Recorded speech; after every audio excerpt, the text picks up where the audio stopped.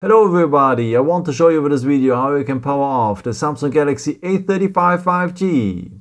And I think you have realized it already, if you're long pressing the power button, you wake up Bixby with. But how to power off the phone? For that you will need next to the power button also the volume down button.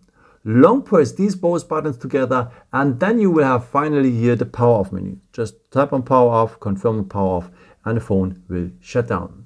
There's a second way to power off the phone. For that, just scroll down here, scroll down a second time, and then you have also here the symbol to power off the phone. Just tap on it and you're on the power off menu. Just tap twice on power off and the phone will turn off.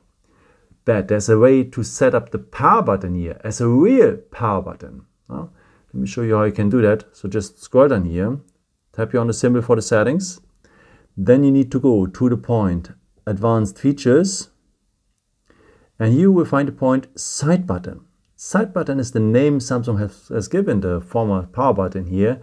And uh, now you can choose what should happen if you press and hold this side button. No? Actually, we are waking up Bixby with, but in the future we want to have the power off menu. Just tap here. And that means whenever you long press now the power button or the side button, you are immediately in the power off menu. Just tap on power off, confirm on power off, and the phone will shut down yeah, I hope I could help you with this video and answer your question. And uh, yeah, maybe if you want, you can leave me a nice comment or give me a thumbs up. That would be very helpful for my videos. Uh, thank you so, so much for.